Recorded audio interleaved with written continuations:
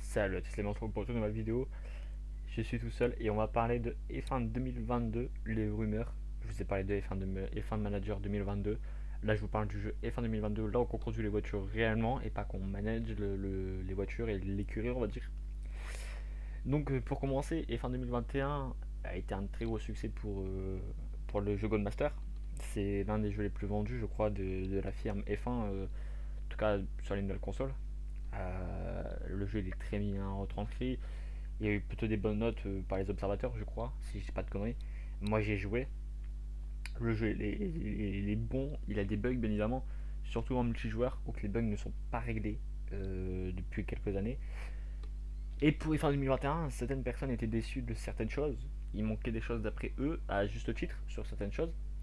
Et d'après les rumeurs, on peut peut-être s'attendre à ce que les, gens qui ont râlé euh, sur certains détails qui n'étaient pas encore là pour les jeux de F1, et eh ben ça pourrait arriver sur ce jeu avec même une nouveauté en plus qui me surprend euh, un peu. Mais d'un côté, je me dis c'est c'est peut-être pas forcément euh, irréaliste. Je vous explique tout ça. Je vous lis l'article et après je dis ce que j'en pense moi et et vous, vous me direz en commentaire si ça vous plaît ou pas, ce que vous en pensez, etc. Tout.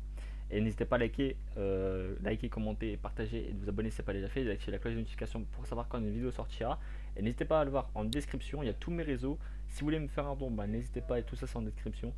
Et il y a tous mes réseaux, il y a mon PSN, il y a mon Steam aussi pour ceux qui s'intéressent. Donc n'hésitez pas à aller voir pour ceux qui veulent jouer avec moi ou autre, ou me demander sur les réseaux et tout. N'hésitez pas réellement à aller voir en description, il y a plein de trucs où vous pourrez me, me parler aussi si vous voulez pas passer par l'espace commentaire ou si vous n'avez pas de compte YouTube.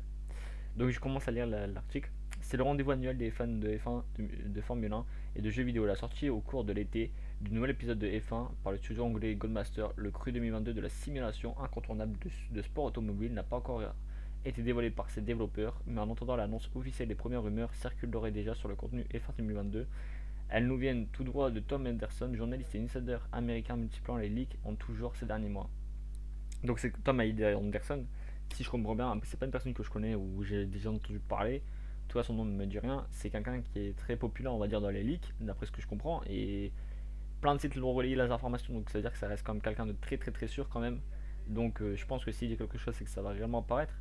Donc toutes ces rumeurs là sont pas avec des pincettes, mais je pense qu'on peut croiser les doigts pour que ça, apparaisse. Donc les nouveautés F1 2002 fuitent à toute vitesse, comme euh, les, les, les F1 2022 voient à toute vitesse. Surtout que, alors je vous parle, il y a déjà eu les, courses de F1 2022. Donc si vous voulez que je vous parle de la première course F1 2022, n'hésitez pas à dire en commentaire aussi si ça vous intéresse d'avoir mon, avis sur les F1 2022. Du coup, pour le jeu, on reprend la, suite de l'article. Ainsi, F1 2022 devrait voir l'arrivée du, tout nouvel air, classe de voitures. Les compétitions de supercars feront leur arrivée, une première pour la franchise. Ces voitures de tourisme ultra performantes pour être achetées et collectionnées. Et bien évidemment, le joueur pourra passer derrière le volant pour des courses à très haute vitesse. Les courses de supercar pourraient également être jouées en ligne, mais logiquement, il ne sera pas possible de les opposer aux véhicules de Formule 1. Pour revenir à la F1, justement, cet épisode 2022 devrait faire un pas sur le mode histoire. L'année dernière, F1 2021 avait introduit un mode narratif avec une vraie intrigue se déroulant dans le mode de course automobile, mais ce mode ne serait pas ainsi présent pour l'édition à venir, faute de temps, mais pourrait néanmoins faire son retour en 2023. Néanmoins, que les, amateurs de course solitaire contre l'IA se rassurent, le mode car classique répondra à l'appel, toujours selon Anderson Dispar, le mode My Team aussi. En lieu et place de ce mode histoire se trouverait F1 Life, une sorte de hub pour les joueurs solo qui simulerait la vie en coulisses des pilotes de Formule 1 avec la possibilité d'acheter des objets de luxe comme des montres des, ou des lunettes à de designer et peut-être imaginer de personnaliser son avatar en jeu. Ce qu'un peu on a déjà dans le jeu F1 2021, mais ça je vous en parlerai. Une autre première pour F1 2022, l'arrivée du crossplay qui permettrait aux joueurs console et PC de faire la course indépendamment de leur, plateforme de prédiction. C'est une nouvelle qui a été déjà introduite dans, une autre franchise d'Electronic Arts et pas demande puisqu'il s'agit de FIFA. Mais on peut pas jouer déjà cross-platform sur FIFA, je crois. Faudrait, faudrait que j'essaye. Mais normalement, on peut pas jouer avec des gens qui sont sur PC et tout. Mais à voir, faudrait que j'essaye. Toi, si vous avez l'info, vous, n'hésitez pas à me dire, mais moi j'ai pas l'info. Pourtant, je joue à FIFA. Enfin, en FIFA 2022 pourrait être également compatible avec des cas de réalité virtuelle sans plus de précision quant aux avoirs concernés si c'est le PSVR 2 était inclus. Donc, euh, il y a plusieurs choses, déjà des nouveautés comme les supercars. Euh, si je déroule les, fils de nouveautés, les, les, supercars qui seraient jouables, le, le F1 Life, le cross-platform et la VR. La VR c'est très entendu pour F1 2021 malheureusement et même pour F1 2020 mais malheureusement ça n'a jamais été introduit. Donc je pense que les joueurs euh, VR seraient, seraient ravis. Maintenant, est-ce que ce serait un mode on va dire à part? Est-ce que le jeu serait compatible avec le, solo et multijoueur ou c'est un mode à part qui sera inclus pour les joueurs ou ceux qui jouent en VR Est-ce qu'il y aurait une sorte de lobby pour les ceux qui jouent en multijoueur que pour eux par exemple euh, ou alors mettre une option que pour les joueurs VR ou ça ce sera à voir par contre ça m'intrigue beaucoup. Le crossplay, le crossplay ça m'intéresse énormément.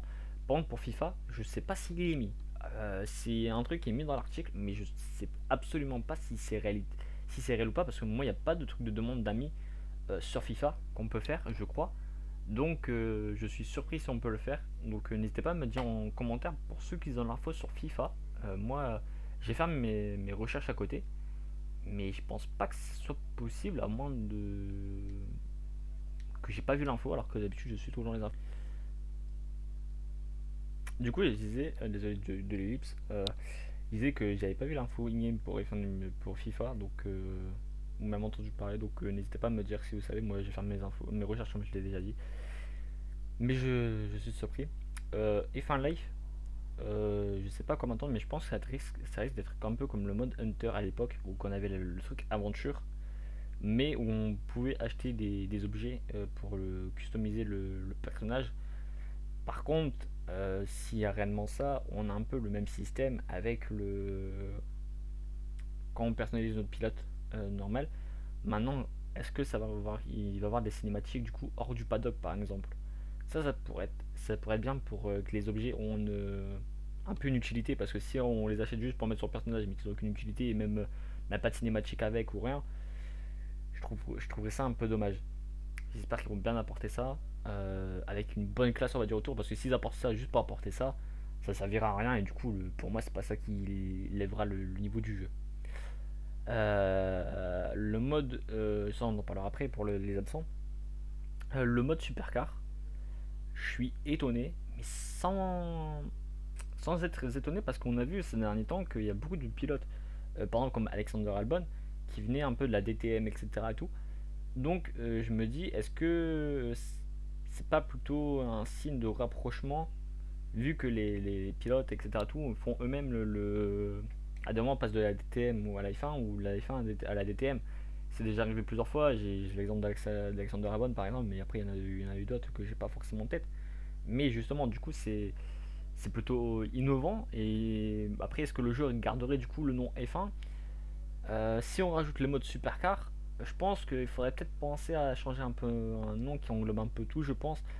Parce que moi, c'est pas que j'aime pas le, nom F1, hein, justement, moi j'aime le nom F1, mais si on commence à rajouter d'autres licences, moi j'aurais aimé déjà que la F1 rapporte par exemple la F3, par exemple, la Formule Renault, la Super Formula, pourquoi pas, c'est des trucs de monoplace. Ce qui, est, ce qui est pour moi le plus important, c'est de ramener des trucs de monoplace, de aller pourquoi pas l'IndyCar par exemple. L'IndyCar, en vrai, il n'y a pas de jeu sur l'IndyCar. Réellement, euh, voilà pourquoi pas les ramener dans le jeu F1 C'est des trucs intéressants, surtout qu'il y a des pilotes qui veulent faire euh, la, la, transition euh, F1 IndyCar ou IndyCar F1. C'est déjà arrivé avec Magnussen par exemple.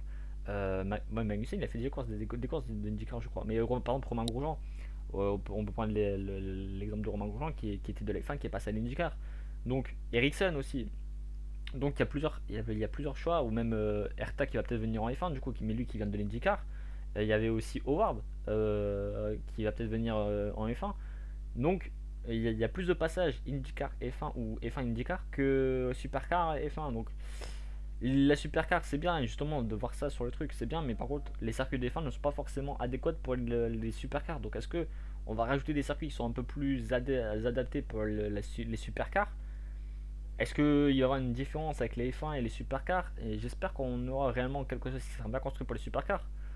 Parce que si on rajoute ça, juste pour rajouter ça comme à l'époque avec les, les fins rétro ou autre, bah, c'est pareil, c'est pas non plus euh, top et il faut des trucs qui soient qui rendent ça intéressant on va dire parce que si tu rajoutes ça juste pour rajouter ça bah, personne ne va y jouer et tout le monde va dire ouais mais voilà on, on conduit une supercar c'est comme si c'est une F1 quoi donc euh, voilà, moi la supercar, euh, voilà, pourquoi pas les circuits du Mans, quoi. Voilà, ça peut être intéressant.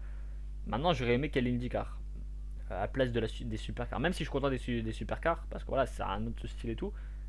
Mais moi, j'aurais préféré voir des trucs de monoplace, euh, d'abord dans le jeu de F1, et après, pourquoi pas les supercars, etc. Tout, que de rajouter de la supercar. Pourquoi pas après rajouter. Voilà, c'est pour moi la Super Formula, c'est un, un, super bon championnat. Surtout pour les, les, les jeunes qui veulent venir en F1. Euh, L'IndyCar, c'est pareil, ça peut être un truc très intéressant. Donc, la F3, c'est pareil, il n'y a pas la F3. On n'arrive même pas déjà à intégrer la F2 dans mode carrière. Pourquoi rajouter d'autres trucs encore en plus? J'espère que le mode carrière il sera, il sera bien fait parce que si on rajoute des trucs juste pour rajouter des trucs et au final que ça apporte rien, euh, je serais déçu clairement. Euh, après, dans les absents, il y a le, mode histoire, mais je pense que du coup, le mode histoire, ça serait un peu à la Hunter qui passerait du coup en mode carrière, je pense. J'espère pour le F1 Live, on va dire. Je pense que du coup, ça rajouterait un peu ça. Par contre, le, mode histoire de F1 2021, il était, euh, il était horrible parce qu'il était trop facile. Et clairement, euh, même l'histoire, elle, est cohérente, mais il n'y a pas assez de, de Grand Prix, il n'y a pas assez de. Voilà. C'est flou, on ne peut pas avoir, une, par exemple, avoir des choix. Euh, par exemple, pour qu'on contrôle quelqu'un, euh, Arresman, par exemple, je crois qu'il s'appelle le gars des Pays-Bas, on ne peut pas le faire un choix par exemple qui soit sympa avec son coéquipier et voilà plus plus plus énervé contre Butler par exemple ou alors vice versa qui soit plus sympa avec Butler parce que justement c'est pas un pilote qui, est de, son équipe et du coup voilà et c'est ça qu'on aurait aimé avoir le, le, on va dire des possibilités de choix et du coup que c'est un impact et que tout le monde n'a pas forcément la même fin du coup et malheureusement on n'a pas ça on a tous la même fin on a tous voilà et n'importe quel curé comprend c'est l'histoire revient à la même chose malheureusement donc euh, voilà voilà pour les, les, nouveautés euh, annoncées pour les 2022. J'espère que ça vous a plu. N'hésitez pas à liker, partager, commenter, de vous abonner si, si ce n'est pas déjà fait, d'activer la cloche de notification. N'hésitez pas à les voir en description pour ceux qui veulent euh, voir mes réseaux, mon PSN, mon Steam s'ils veulent, pour jouer avec moi sur PC, etc. Tout, bah, n'hésitez pas. Si vous voulez me faire un don aussi, bah, n'hésitez pas. Nous, on se dit à la prochaine. Ciao!